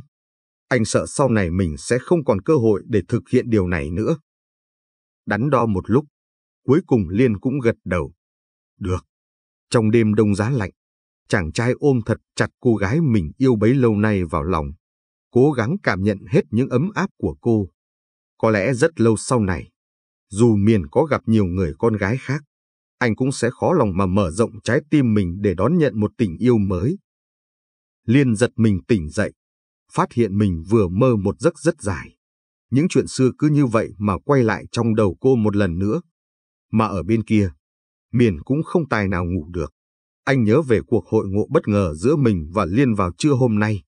Gần 5 năm không gặp, cô đã thay đổi quá nhiều. Không còn là cô gái nhỏ năm nào nữa. Bây giờ trên người Liên đã toát ra hơi thở của một người phụ nữ trưởng thành. Cô cũng gầy đi rất nhiều. Chỉ có làn da trắng là không hề thay đổi. Nhìn dáng vẻ của Liên khi đó, miền đoán cuộc sống của cô cũng chẳng tốt đẹp gì. Anh đã định ngỏ lời giúp đỡ, nhưng với những lời từ chối khéo léo của cô, miền chỉ đành lặng im. Mấy năm nay, cũng may nhờ trời thương, anh đã tự mình mở được một xưởng đồ mỹ nghệ ở Hà Nội. Có được một số vốn nhất định, miền cũng từng có suy nghĩ về lại thăm bản thác quê mình. Nhưng cứ mỗi lần anh muốn về, lại có chuyện xảy ra nên cứ chần chờ mãi mà gần 5 năm rồi Miền vẫn chưa về quê. Buổi trưa hôm sau, anh không nhịn được mà tìm đến quán cơm ngày hôm qua. Nhưng ngóng trông cả buổi mà chẳng thấy Liên đâu cả. Đắn đo cả buổi cuối cùng anh quyết định vào hỏi Hạnh, bà chủ quán về tung tích của cô. Bà chủ ơi, hôm nay Liên không đi làm sao? Hôm nay con Liên không có đến đây. Con của nó bệnh nặng rồi phải đưa thằng nhỏ vào bệnh viện. Thế chị có biết biết cô ấy đang ở bệnh viện nào không? Làm ơn chỉ chỗ cho tôi với. Anh có quan hệ gì với hai mẹ con của nó mà muốn hỏi địa chỉ? Miền thành thật trả lời. Tôi là bạn của Liên ở dưới quê. Nhìn thấy khuôn mặt thật thà của anh, Hạnh cũng không muốn làm khó nữa. Cô ấy nói. Nó thường đưa con đến bệnh viện Bạch Mai. Cậu đến đó xem thử đi. Tôi cảm ơn cô nhiều. Dứt lời, anh vội vàng lái xe đến bệnh viện để xem thử tình hình. Lúc miền tìm đến khoa nhi đồng, anh thấy Liên đang ngồi trên ghế ngoài sảnh, tay bế đứa con nhỏ đang khóc nhưng chẳng thấy bóng dáng của quý đâu cả. Cùng lúc này, Liên vô tình quay đầu lại, khoảnh khắc nhìn thấy anh, cô sừng sốt không thôi. Liên ngạc nhiên hỏi. Sao anh lại ở đây? Miền ấp úng trả lời. Anh, đến quán tìm em nhưng chị chủ nói em đưa con đi bệnh viện, nên anh mới đến đây tìm. Thế anh tìm em có chuyện gì không? Anh, anh, mà thôi em đừng hỏi chuyện này nữa. Thằng bé sao rồi? Sao em không đưa nó vào phòng bệnh nằm mà lại ngồi ở đây? Liên cúi đầu, buồn bã nói. Bệnh viện hết phòng chung rồi, còn phòng riêng thì em không có đủ tiền thuê. Thế quý đầu rồi. Nó là chồng, là cha mà từ sớm đến giờ thấy mặt mũi ở đâu cả. Nước mắt liên trực trào nơi khóe mắt. Cô nghẹn ngào nói. Anh ấy đi đâu từ hôm qua đến bây giờ mà em gọi không được. Cũng không biết nên tìm ở đâu. Nghe Liên nói mà miền tức điên lên. Anh nghiến răng mắng chửi. Cái thằng khốn đó, anh mà gặp nhất định sẽ đánh cho nó một trận. Anh chửi, Liên lại càng khóc nhiều hơn. Thấy cô như vậy, anh đau lòng nói. Em đừng khóc nữa. Để anh đi đóng viện phí rồi thuê phòng riêng cho thằng nhỏ nằm. Chứ ngồi ở ngoài này cũng không phải là cách.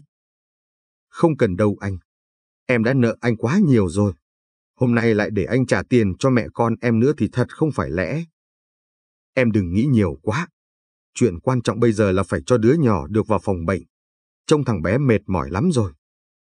Miền không cho Liên thêm bất cứ cơ hội từ chối nào nữa. Anh đứng dậy đi về phía quầy đóng viện phí để làm thủ tục thuê phòng cho hai mẹ con. Đứa nhỏ đứa chuyển vào phòng bệnh nằm. Nhưng vì sốt cao quá nên ngoài việc bác sĩ đến cho thằng bé uống thuốc, Liên phải liên tục lau người hạ nhiệt cho con. Nhìn dáng vẻ mệt mỏi, đôi mắt thâm quầng của cô, miền đoán chắc là hôm qua Liên chưa ngủ được bao nhiêu. Vì vậy anh nói với cô, em nghỉ ngơi một chút đi, thằng bé cũng ổn rồi. Cô lắc đầu nói, em không ngủ được, em phải chăm con.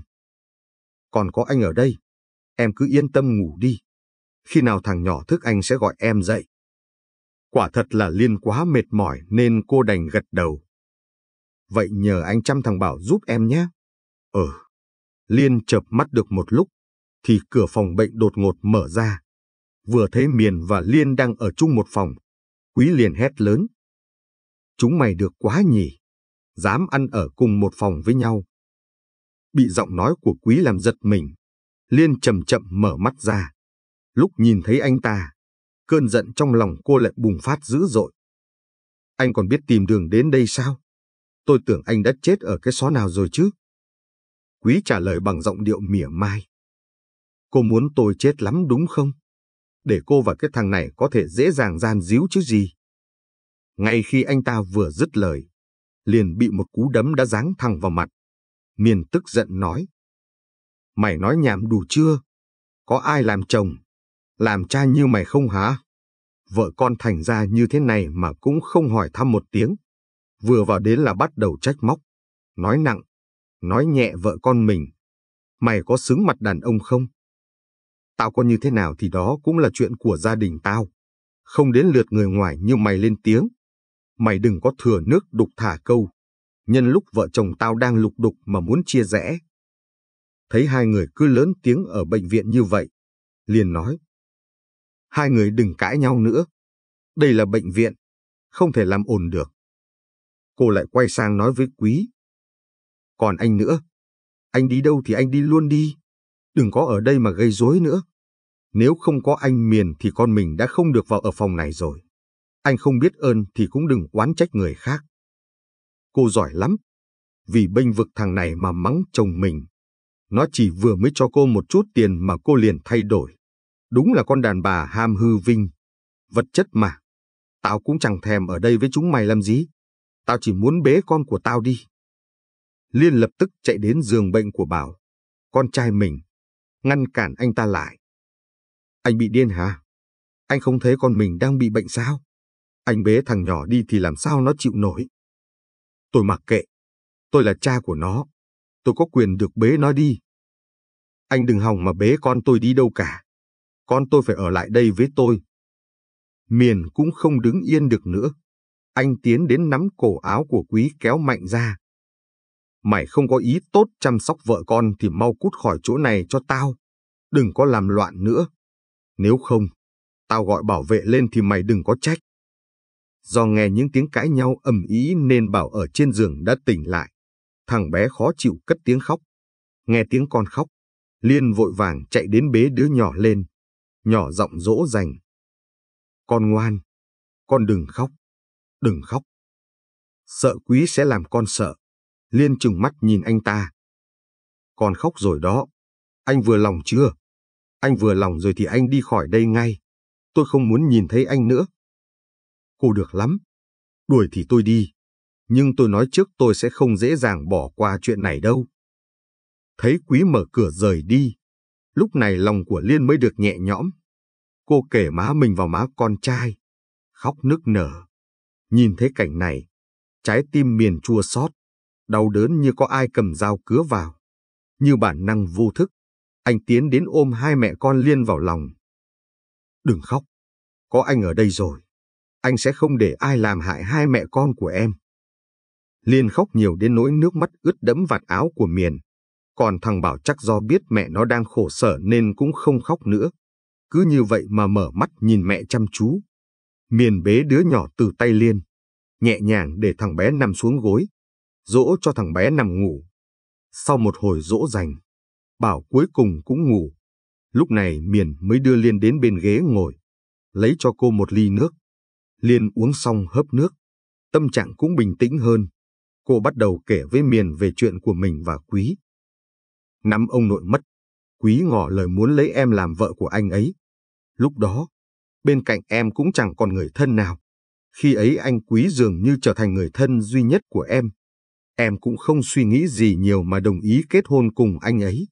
Sau đó, anh Quý nói muốn về Hà Nội dạy học. Em đắn đo nhiều lần nhưng cuối cùng cũng quyết định đi theo. Nào ngờ, khi lấy nhau được một năm, anh ấy bắt đầu đổi tính, đổi nết, thường xuyên ăn chơi bên ngoài mà bỏ bê em. Em đã nhiều lần muốn nói nhưng lại nghĩ đến đứa con trong bụng mình. Vì muốn cho con đủ cha và mẹ nên em dặn lòng phải nhường nhịn.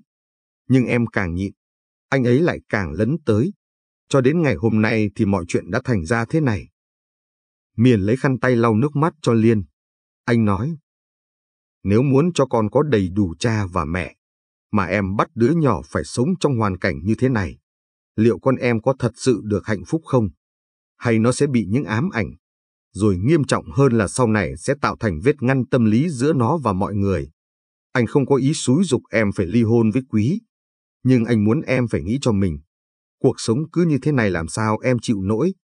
Anh nghe mấy người làm trong quán của em nói, ngày nào em cũng làm việc từ sớm đến tối, về nhà lại phải chăm con, dọn dẹp nhà cửa.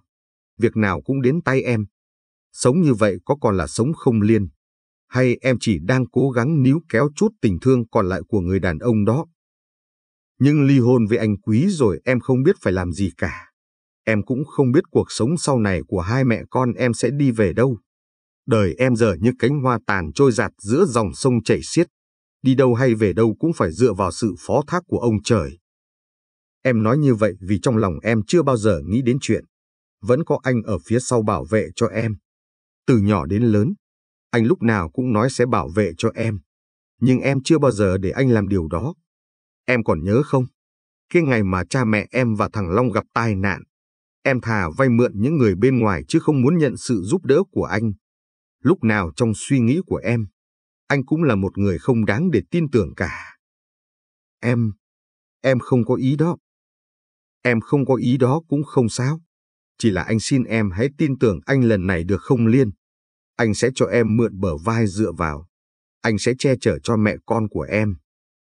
Chưa bao giờ ý chí chiến đấu trong lòng miền lại sục sôi như vậy. Anh hận mình năm xưa đã hèn nhát, đã không đấu tranh để khiến Liên phải rơi vào tay người đàn ông đó, để cô phải chịu khổ như thế này. Bây giờ ông trời lại cho anh thêm một cơ hội nữa. Anh không muốn bản thân phải tiếp tục bỏ lỡ. Lần này dù có thế nào anh cũng nhất quyết phải bảo vệ mẹ con của Liên. Nghe những lời chân tình mà Miền nói, trong lòng Liên bối rối vô cùng. Cô nói, bây giờ lòng em rối lắm, không biết phải trả lời anh thế nào. Anh cho em thời gian suy nghĩ được không? Ừ, em cứ từ từ suy nghĩ, bao lâu anh cũng chờ em. Cứ như vậy, từ sau lần nói chuyện với Liên, mỗi ngày Miền đều đến bệnh viện lo cho hai mẹ con của cô chu đáo. Thấy anh không về nhà mà cứ ở trong bệnh viện, Liên sợ anh mệt mỏi nên đôi lần cũng lên tiếng nhắc nhở. Anh về nhà nghỉ ngơi đi, đi làm cả ngày rồi. Anh cứ vào đây với mẹ con em thì làm sao chịu nổi. Có gì mà không nổi chứ, anh đi làm cũng có mệt bao nhiêu đâu. Hơn nữa, anh cũng thích chơi với thằng Bảo. Không vào thăm nó anh thật sự không chịu được. Nói mãi mà anh vẫn kiên quyết. Liên chỉ đành chịu. Vậy em mặc kệ anh đó. Ừ. Dưới sự chăm sóc của Miền, Bảo nhanh chóng khỏi bệnh. Ngày thằng bé xuất viện, anh không đưa hai mẹ con về nhà cũ, mà thuê hẳn một căn phòng đối diện nhà mình cho họ vào ở. Liên luyến tiếc tiền nên nói với anh. Anh thuê làm chi cho tốn kém, đưa em về nhà cũ là được rồi. Về đó cho thằng Quý đánh em sao? Chút tiền thuê nhà này anh trả được. Em đừng lo. Quả thật Liên không dám về nhà. Sau bao nhiêu chuyện xảy ra ở bệnh viện cô sợ về đó Quý sẽ giết mình chết mất. Thế nên, cô vốn định thuê một căn phòng nhỏ bên ngoài đủ để hai mẹ con ở. Nào ngờ Miền lại thuê hẳn căn phòng lớn thế này. Miền nói với Liên. Em cứ yên tâm ở lại đây. Nhà anh ở ngay đối diện, nếu có chuyện gì cần cứ nói với anh. Liên ngại ngùng nói. Dạ, em biết rồi. Mấy ngày sau, sức khỏe của con dần ổn định lại. Liên cũng nghĩ đến chuyện phải kiếm một công việc khác làm. Lúc trước, làm phục vụ ở quán ăn tuy có tiền nhưng lại không được ở bên cạnh con. Bỏ con ở nhà một mình cô thật sự không yên tâm một chút nào hết. Miền biết chuyện nên cũng đề nghị với Liên.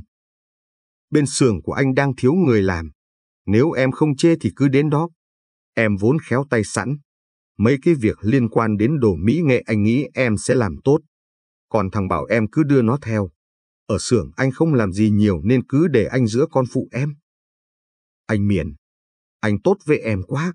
Em thật sự không biết làm thế nào để trả ơn cho anh. Trả ơn cái gì chứ? Chỉ cần hai mẹ con của em sống tốt thì anh đã yên tâm rồi. Ngày đầu tuần, Miền đưa Liên vào xưởng rồi giới thiệu cô với mọi người ở đây một lượt. Tính cô vốn dễ gần nên mọi người cũng nhanh chóng hòa nhập được. Chỉ có điều trong xưởng không ít lời bản ra tán vào về chuyện của Miền và Liên. Họ bàn tán cũng là hợp tình hợp lý. Miền sống một mình bao nhiêu năm nay. Bây giờ lại đột nhiên đưa một người phụ nữ vào xưởng. Lại còn nhiệt tình đi giữ con cho người ta. Mấy lời này họ không dám hỏi thẳng Miền. Chỉ dám nói to nhỏ với nhau mà trùng hợp là những điều đó Liên đều nghe thấy hết. Lòng cô vô cùng khó chịu, nên tối hôm đó đã nói chuyện lại với Miền. Em nghĩ mình đi làm ở chỗ khác sẽ tốt hơn. Miền gấp gáp hỏi lại cô. Xưởng của anh không tốt sao? Hay anh đã làm gì để em phiền lòng? Anh không có làm gì hết. Xưởng của anh cũng rất tốt chỉ có điều em sợ sẽ làm ảnh hưởng đến anh. Dù gì anh vẫn chưa có vợ, có con. Bây giờ suốt ngày cứ giữ thằng Bảo ở bên mình.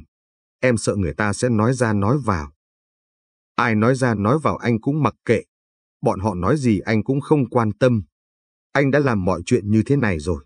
Mà em vẫn không hiểu lòng anh sao Liên. Sao em còn nghĩ anh sẽ vì chuyện đó mà sợ ảnh hưởng đến bản thân mình? Em, em, thôi em không cần trả lời anh. Em cứ yên tâm làm việc đi. Anh đảm bảo sẽ không có ai nói ra nói vào gì hết. Chắc hẳn Miền đã nói lại với những nhân viên của mình. Nên kể từ ngày đó Liên không còn nghe ai nói ra, nói vào về chuyện đó nữa. Miền và Liên cứ như vậy mà trở thành hàng xóm như lúc họ còn sống trên bản thác. Hàng ngày đi làm cùng nhau, tối lại về ăn cơm chung một bữa. Hôm nay vẫn như thường lệ. Liên nấu bữa tối còn Miền thì ở ngoài chơi với thằng Bảo. Lúc Liên dọn cơm xong định bước ra ngoài gọi vào ăn thì lại bị cảnh tượng một lớn. Một nhỏ trên sàn đang ngồi chơi vui vẻ với nhau đập vào mắt. Chưa bao giờ Liên thấy con trai mình cười nhiều như vậy. Dường như đây chính là khoảng thời gian hạnh phúc nhất của nó, mà cũng là hạnh phúc nhất của cô sau 5 năm dai dẳng. Hóa ra có một người đàn ông ở trong nhà lại yên tâm đến như vậy. Cô đã từng tưởng tượng ra cảnh mình nấu ăn còn chồng chơi với con ở bên ngoài. Nhưng Quý lại chưa từng làm điều đó với cô và con. Nỗi xúc động dâng trào trong lòng. Liên vô thức tiến đến gần hai người trước mặt, ngồi xuống chơi với con cùng Miền. Thấy mắt cô đỏ hoe, Miền lo lắng hỏi. Mắt em bị làm sao thế? Sao lại đỏ hết rồi? Liên lấy tay dụi mắt, ngập ngừng nói. Chắc là khi nãy khói bay vào mắt nên mắt em đỏ chút thôi. Em nấu cơm xong rồi. Anh với thằng Bảo vào ăn đi. Ừ, anh vào ngay. Đến khi cả nhà ăn xong bữa tối, Liên định rửa bát nhưng Miền bảo cứ để anh. Cô không thay đổi được quyết định của anh, nên đành ra sofa ngồi chơi với con một lúc. Miền vừa rửa bát xong, vừa bước ra phòng khách thì nghe thấy tiếng chuông cửa. Lúc anh ra mở thì sững sờ khi nhìn thấy Quý đứng trước mặt mình. Miền khó chịu hỏi. Anh cũng giỏi thật đấy, còn tìm được tới đây. Tao không đến thì làm sao biết mày đang gian díu với vợ tao ở đây. Mau tránh ra để tao vào nhà tìm Liên. Anh không có quyền gì mà ra lệnh ở đây. Tốt nhất anh nên ra khỏi nơi này. Chúng tôi không chào đón anh. Chào đón hay không cũng chẳng đến lượt một người ngoài như mày lên tiếng. Tao nói cho mày biết lúc trước mày đã thua tao. Thì sau này cũng vậy. Cho dù tao cho chơi chán liên rồi thì cũng chẳng đến lượt một thằng chó như mày đâu.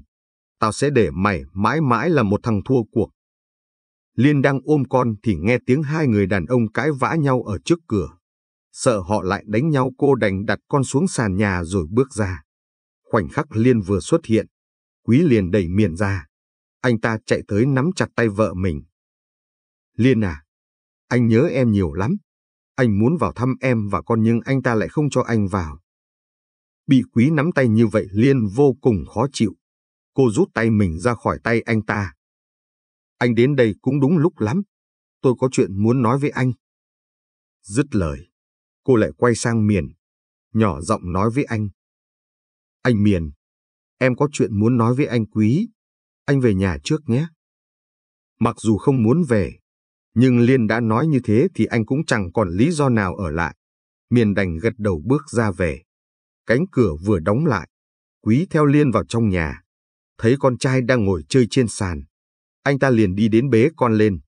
Nhưng ngay khi Quý vừa chạm vào Bảo, thằng bé đã khóc nấc lên, tỏ thái độ bài xích người cha ruột này của mình. Liên nhìn thấy cảnh này, trong lòng lại càng lạnh hơn. Xem ra con trai mình còn thích miền hơn cả cha ruột của nó.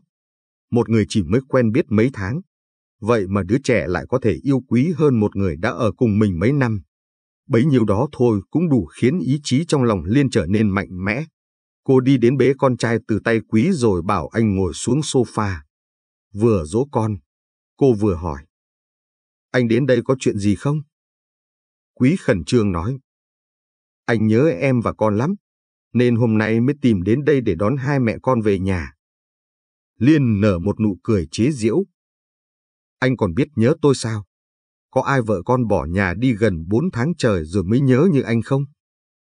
Không phải anh không nhớ em, nhưng vì anh bận quá nên vẫn chưa có cơ hội tìm hai mẹ con. Đừng nói dối nữa quý à. Chẳng lẽ một tuần mà ngày nào anh cũng bận, không thể dành thời gian cho vợ cho con. Những lời mà anh nói, tôi muốn tin cũng chẳng biết phải tin làm sao nữa. Em nói như vậy là có ý gì? Liên hít một hơi thật sâu rồi nói. Tôi chẳng có ý gì cả. Tôi muốn ly hôn với anh. Cái ly trên tay quý rơi xuống đất. Anh ta nghiến răng hỏi lại Liên. Em nói cái gì? Em nói lại tôi nghe xem. Mới có mấy tháng không gặp. Em đã bị thằng khốn đó dụ dỗ gì rồi mà về đây đòi ly hôn với tôi. Tôi không bị ai dụ dỗ cả. Đây là quyết định của chính tôi. Bấy lâu nay tôi chịu đựng anh đã đủ rồi. Tôi không muốn phải chịu đựng thêm nữa.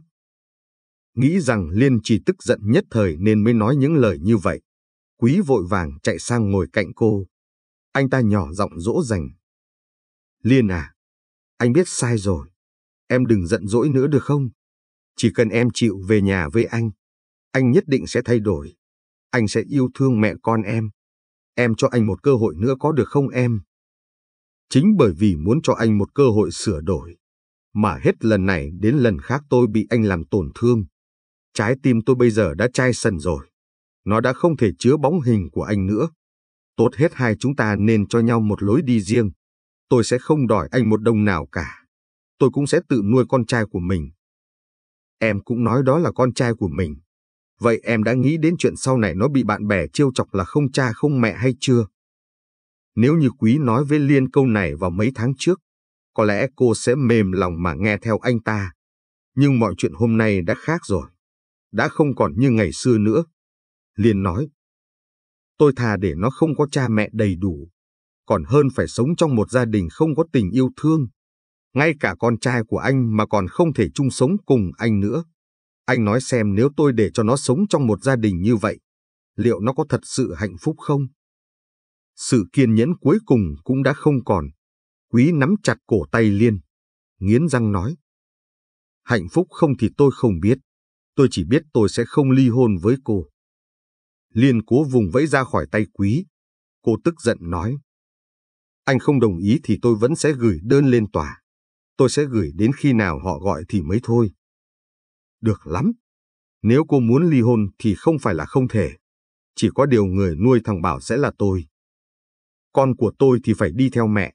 Anh không có quyền bắt nó phải đi theo anh. Thế cô định giành quyền nuôi con như thế nào đây?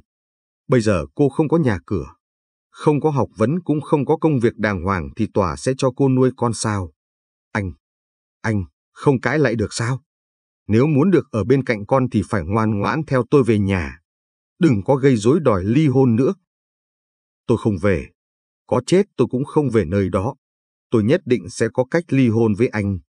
Còn bây giờ thì anh mau về đi. Tôi với con của tôi còn phải đi ngủ nữa. Được thôi. Cô cứ từ từ mà suy nghĩ đi. Ngày mai tôi lại đến. Liên không thể chịu nổi cái vẻ mặt đắc ý của anh ta nữa. Cô lấy gối quăng vào người đàn ông. Anh đi nhanh cho tôi. Đuổi được quý ra về. Liên như không còn sức lực nữa. Cô quỳ gối xuống nền đất ôm lấy con trai mình rồi khóc thật to. Bảo ơi! Mẹ là cái đồ bất tài vô dụng. Không thể bảo vệ được cho con. Con nói xem mẹ phải làm như thế nào. Thì người đàn ông đó mới cho hai mẹ con mình sống yên ổn. Thằng nhóc mới ba tuổi đầu vẫn chưa thể hiểu những gì mẹ mình đang nói. Nó chỉ biết dùng đôi bàn tay nhỏ nhắn của mình lau nước mắt trên mặt mẹ. Mẹ ơi! Mẹ đừng khóc. Mà ở bên này, lòng miền cũng bồn chồn không yên. Anh không biết giữa hai người họ lại xảy ra chuyện gì. Trùng hợp lúc anh định mở cửa nhà ra để nghe ngóng tình hình thì lại nhìn thấy quý từ trong nhà bước ra. Anh ta đắc ý nói với miền. Mày đừng tưởng có thể thay đổi mọi chuyện. Rồi Liên và thằng Bảo cũng sẽ trở về với tao thôi. Mặc kệ những điều anh ta nói, Miền sốt ruột chạy vào trong nhà xem tình hình của Liên. Cửa chưa kịp mở, anh lại nghe thấy tiếng cô khóc bên trong. Trái tim của Miền lại bắt đầu đau đớn. Anh không nghĩ được gì, chỉ biết liều mạng vào bên trong. Liên ngẩng đầu lên nhìn anh. Đôi mắt cô tràn ngập nước mắt, bộ dạng vô cùng tủi thân. Miền đi đến bên cạnh cô như một bản năng. Anh không nói gì chỉ ôm người trước mặt vào trong lòng để cho Liên có một chỗ dựa. Hai người cứ như thế mà yên lặng ôm nhau, mặc cho phong ba bão táp đang chờ phía trước. Mấy ngày sau đó, Quý vẫn kiên trì đến tìm Liên nhưng cô kiên quyết không mở cửa. Lại thêm mỗi lần như vậy đều có miền đi cùng, nên dù Quý có muốn làm gì cũng đành nhịn xuống.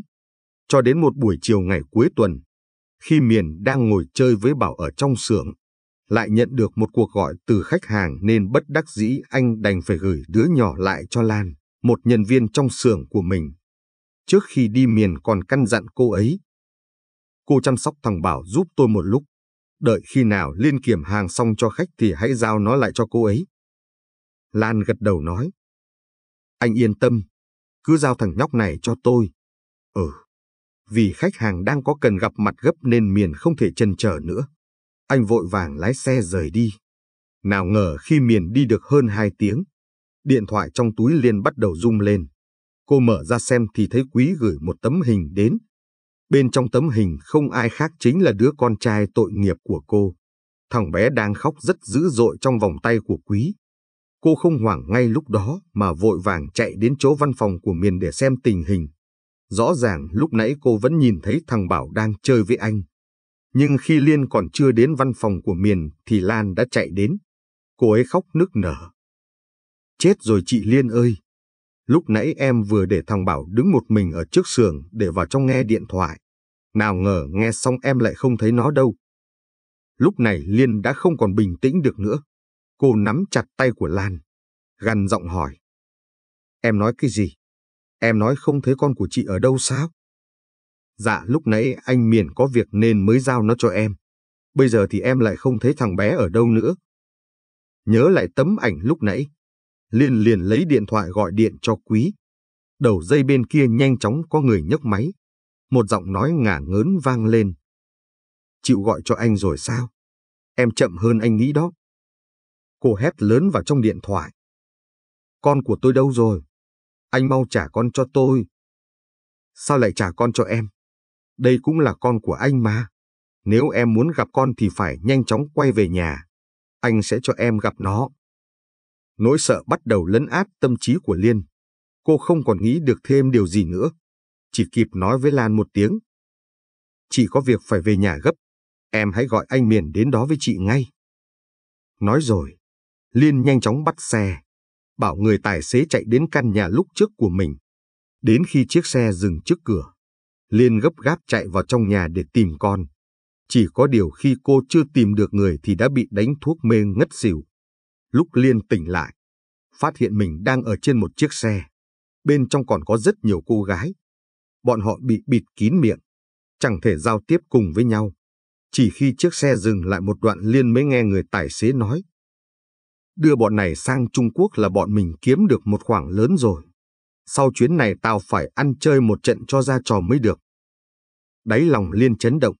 Hóa ra cô bị rơi vào tay của bọn buôn bán người nhưng rõ ràng là cô chỉ về nhà cũ của mình theo lời của quý. Vậy tại sao lúc này cô lại ở trên xe? Chẳng lẽ anh ta đã nhẫn tâm đến mức bán cô cho đám người này? Không muốn chừa cho cô đường sống nữa hay sao? Liên cố gắng cựa quậy nhưng dây bị trói rất chặt. Cô càng vùng vẫy thì lại càng đau đớn.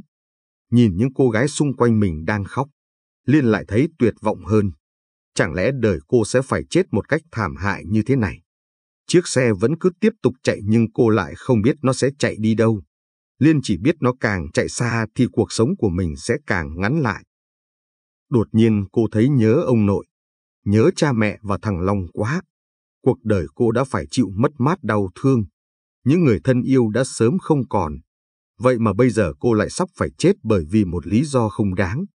Chết thì cũng chẳng có gì đáng sợ. Nhưng cô chết rồi thì ai sẽ chăm sóc cho con của cô đây? Thậm chí thằng bé còn không được gặp mẹ của nó lần cuối. Điều mà Liên luyến tiếc nhất không chỉ có mỗi con trai, mà còn có cả miền nữa. Anh tốt với cô như vậy, cô lại chưa có bất kỳ cơ hội nào để bày tỏ với anh. Chỉ nghĩ đến bao nhiêu đó thôi. Nước mắt của Liên lại rơi xuống. Cô cũng òa khóc như những cô gái đang ở bên cạnh mình. Chiếc xe lại chạy thêm một đoạn xa nữa rồi dừng lại. Cô không còn nghe được tiếng động ở bên ngoài nữa. Mọi thứ bắt đầu chìm vào im lặng một cách đáng sợ. Những người khác khóc quá nhiều thì đâm ra mệt mỏi. Ai nấy đều bắt đầu chìm sâu vào giấc ngủ. Liên cũng cảm thấy mình sắp giống họ rồi. Mí mắt của cô cũng sắp không trụ được nữa. Và rồi điều gì đến cũng đến. Liên kiệt sức nhắm mắt lại, mặc cho số phận đang gần kề với cái chết.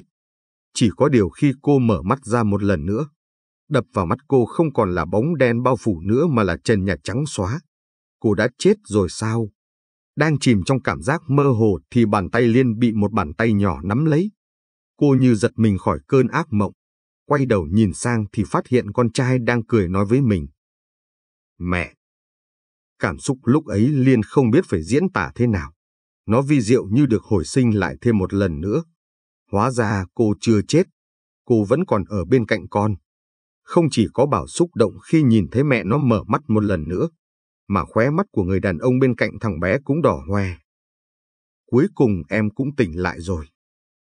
Hóa ra lúc chiếc xe dừng lại, công an đã kịp thời giải cứu những người bị bắt trong chiếc xe.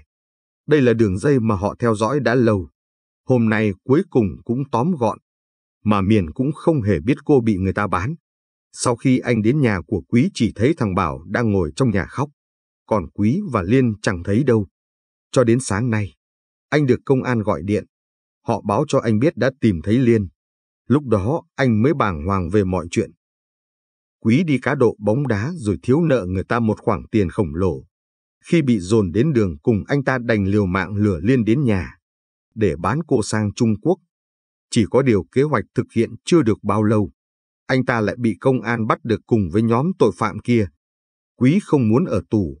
Anh ta đã bỏ chạy trong lúc bị công an rượt đuổi. Nào ngờ khi chạy đến ngã ba đã bị một chiếc xe từ trong hẻm lao ra tông chết ngay tại chỗ.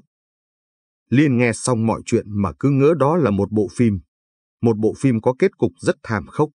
Quý chết. Đáng ra Liên phải cảm thấy mình được giải thoát. Nhưng nội tâm bên trong cô vẫn có chút gì đó buồn buồn. Dù gì bọn họ cũng là vợ chồng được hơn 5 năm. Không có tình thì cũng phải có nghĩa. Vì vậy sau cái chết của quý tâm tình của Liên cũng bị sốc một thời gian dài. Miền biết cô buồn, nên không hề gượng ép Liên phải chấp nhận sự thật này ngay lập tức. Miền đón hai mẹ con của Liên về nhà, bắt đầu đóng vai người hùng thầm lặng để chăm sóc cho cô và đứa nhỏ. Hàng ngày đi vào xưởng anh đều đưa hai mẹ con của Liên theo, chỉ có điều không cho cô làm việc. Vốn dĩ định để cô ở nhà tĩnh dưỡng, nhưng lại sợ cô ở một mình đâm ra lo âu nên anh chỉ đành đưa họ ra ngoài. Hôm nay vẫn như mọi khi, Miền đưa hai mẹ con Liên đến xưởng rồi dặn dò. Em ở đây với con nhé. Anh đi gặp đối tác, để bàn chuyện xuất xưởng chuyến hàng lần này.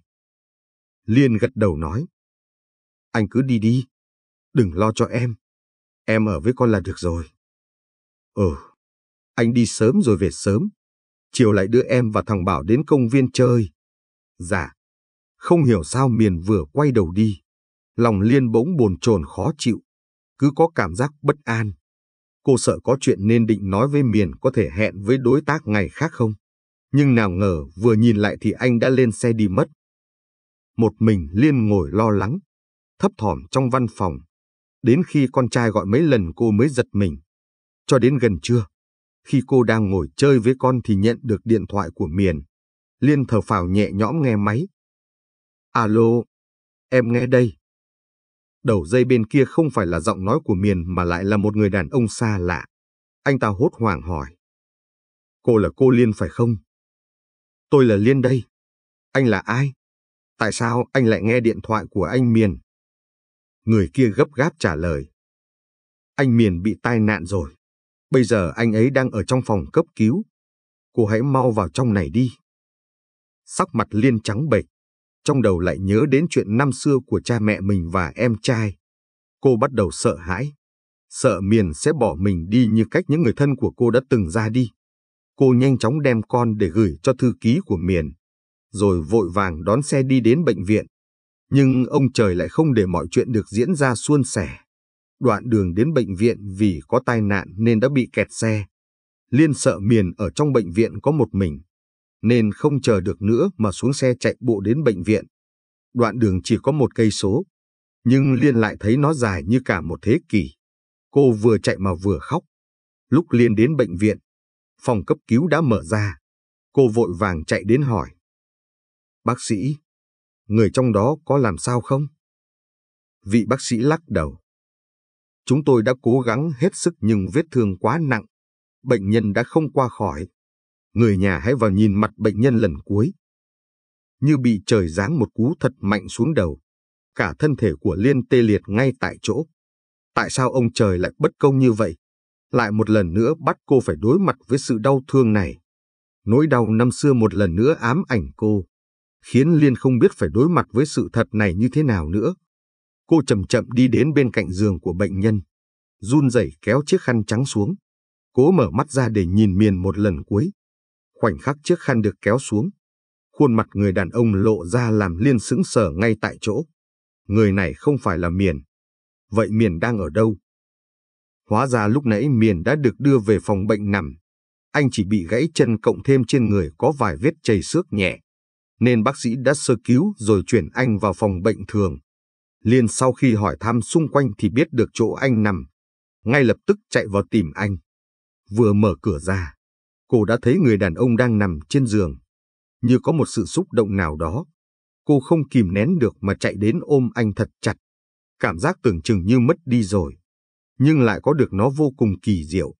Khiến Liên cứ khóc ở trong lòng anh. Miền bị bất ngờ bởi hành động của Liên. Nhưng sau đó cũng vô cùng hưởng thụ mà xoa đầu cô dỗ dành. Đừng khóc. Anh chỉ bị gãy chân thôi.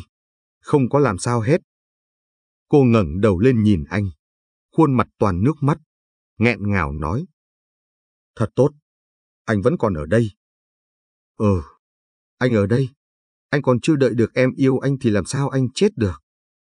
Liên lấy tay lau nước mắt trên mặt mình. Sau đó nắm chặt tay anh. Vậy thì anh không cần đợi nữa. Bây giờ em sẽ nói cho anh nghe. Em thật sự rất yêu anh. Liên đã từng rất đắn đo trong việc nói yêu miền, vì cô không biết đó có được gọi là tình yêu hay không. Nhưng vào thời khắc Liên biết mình sẽ mất đi anh, cô mới chợt nhận ra bản thân mình đã yêu người đàn ông này nhiều như vậy. Không phải cô yêu anh vì trong những năm tháng cô khổ cực nhất, bị quý đối xử tồi tệ nhất, anh đã ra tay giúp cô, mà chỉ đơn giản là cô yêu anh từ rất lâu rồi. Có lẽ hai người họ đã lớn lên cùng nhau, thời gian ở bên cạnh nhau quá dài khiến cô không thể nhận ra tình yêu của mình dành cho Miền, mà chỉ coi nó là thứ tình cảm ngây ngô giữa hai người bạn. Rồi đến khi Liên gặp được Quý, anh ta không giống như Miền thô lỗ, cộc cằn mà lại ôn nhu, nhã nhặn, biết lấy lòng người khác nên khiến cô bị đắm chìm vào cảm giác đó, và cứ ngỡ nó là tình yêu. Chắc cả Miền và Quý đều không hay biết rằng, ngày cô đồng ý kết hôn cùng với Quý, cô đã phải đắn đo suy nghĩ rất lâu vào cái ngày đám cưới của mình. Liên không hề thấy vui sướng như cô tưởng tượng, mà thay vào đó là cảm giác như mất đi một thứ gì đó vô cùng quý trọng. Giờ đây cô đã biết thứ quý trọng ấy là gì rồi. Đó chính là ngày cô sẽ không còn miền nữa.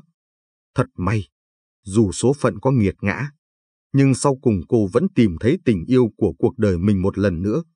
Cô quyết tâm lần này sẽ không để bỏ lỡ anh.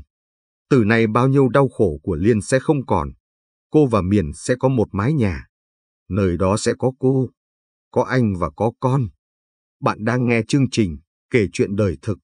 Chương trình được phát sóng vào lúc 12 giờ trưa và 8 giờ tối hàng ngày trên kênh YouTube Chuyện Xóm Cụt.